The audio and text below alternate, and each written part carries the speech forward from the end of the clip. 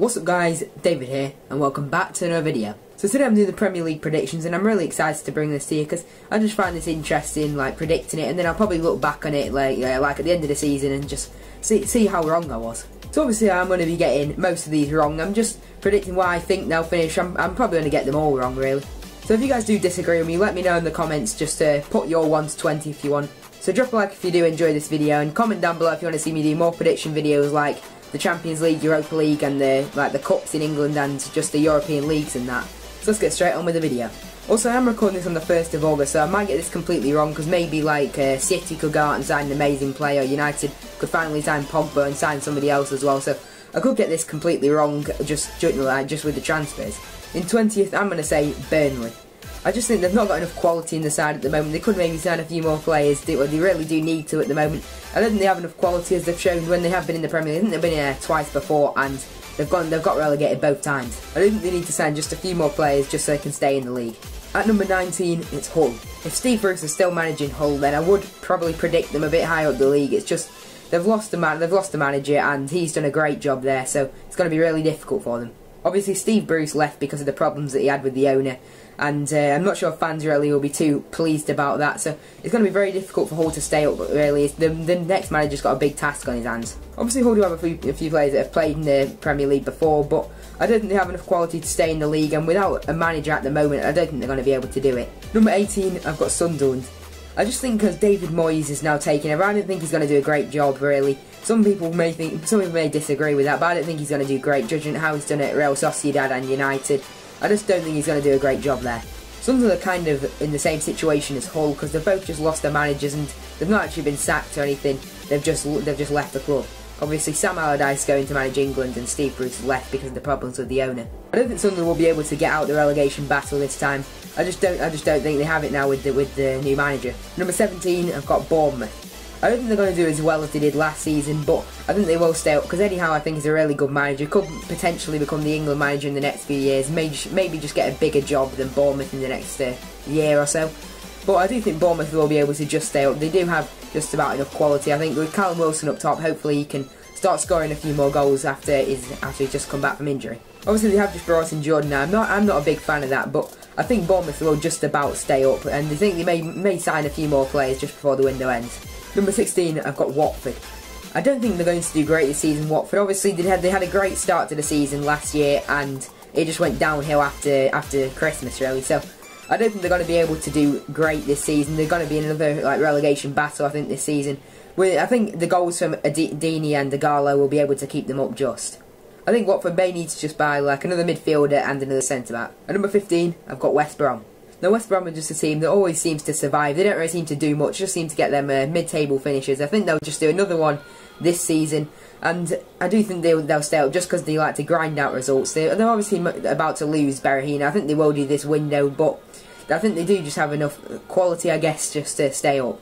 West Brom do like to play like four centre backs across the back line, which is interesting, but it seems to work for them because they're very good defensively. Number 14, I've got Middlesbrough. Obviously, I've already said Hull and Burnley are going to get relegated. They're the, they're the other two promoted teams. I think Middlesbrough will stay up just because they've signed Negredo, who's a, a, Premier League winner, and they've signed Victor Valdes, who was the Barcelona first team keeper just quite just a few years ago. I reckon Negredo will score a few goals at Middlesbrough with Jordan Rhodes up top as well, so they have, they have got goals in them. I think Middlesbrough will survive comfortably. Number 13, I've got Swansea.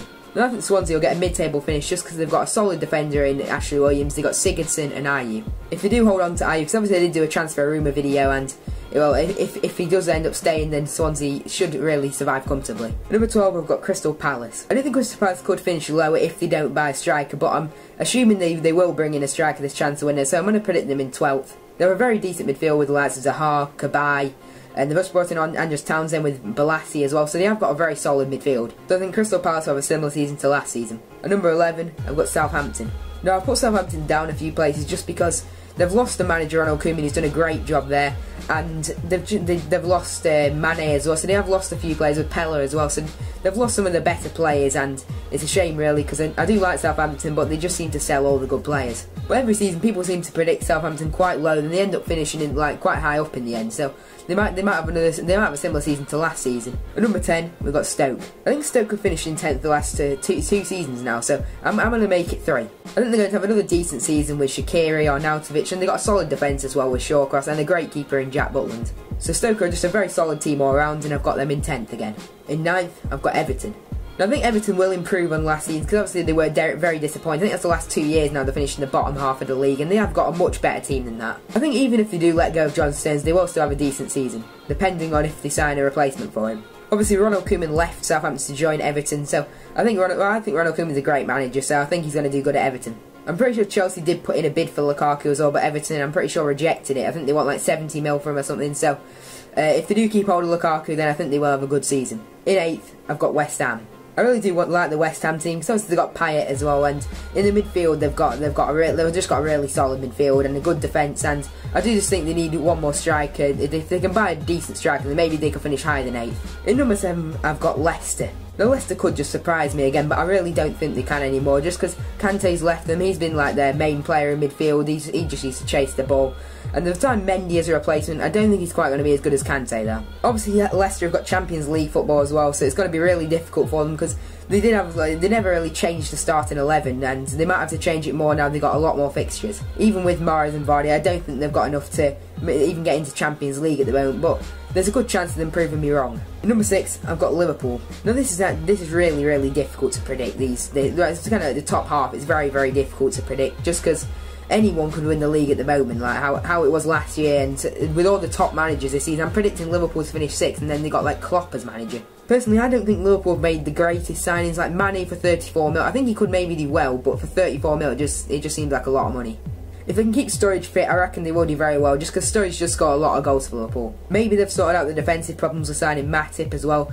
They've got rid of Skrtel, who it just seems like he, wasn't he wasn't great towards the end of his Liverpool career. In number five, I've got Tottenham. Now Tottenham could easily finish higher, but I just don't think I just don't think they will, in my opinion. We saw at the end of last season they did lose a few games. Obviously they did get thrashed by Newcastle as well. The reason why I put Tottenham in fifth is just because there's so many other good teams at the moment. Like lots of the big teams are signing good players, so I just don't think Tottenham can get Champions League this season. In fourth, I've got Arsenal. Now, for Arsenal in fourth, I'm just because I'm just assuming that they will sign either a centre back or a striker. I don't think they're going to sign both, both, but if they do, then they maybe could even get first. But uh, at the moment, I'm putting them fourth just because they need a centre back and they need a striker, and it, they just always seem to get fourth, don't they, Arsenal? If Arsenal do buy a decent striker, then they should have a very good season just because Ozil gets so many assists, and if he had a great striker playing in front of him, then he'd get so many more. Number three, I've got Chelsea. From what I've seen at Conte at the Euros, I think he's a, I think he's a very good manager. Just it seems very well organised. So I think Chelsea will be very good.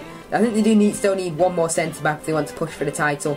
But I do think they have got a very good team. I think Hazard will hit top form again just like he did at the Euros and at the end of last season. Also, if Diego Costa starts scoring, then Chelsea could get a lot of goals this season.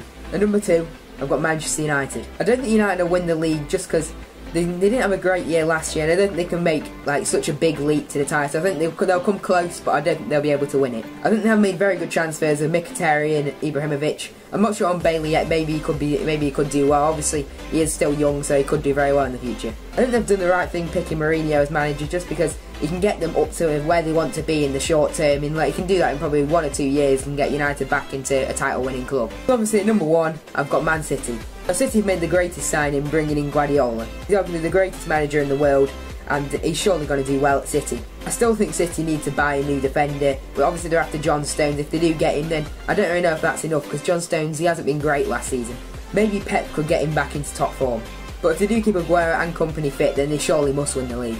So remember guys, these are just my opinions, so I'm probably going to get this completely wrong. So uh, make sure you comment down below your predictions if you want, and uh, yeah, comment down below if you want to see uh, more predictions videos for like the Cups and uh, European League, so let me know in the comments. I'm hoping I will have the uh, Premier League table on the screen now if, i if I'm a okay editor, I guess. I'll try and get that onto the screen. If not, then I may look like an absolute idiot. So this is about it for the video, guys. So make sure you drop a like, comment down below, and subscribe if you're new around here. So this is about the end of the video. Thanks, thanks ever so much for watching, and I'll see you in my next video.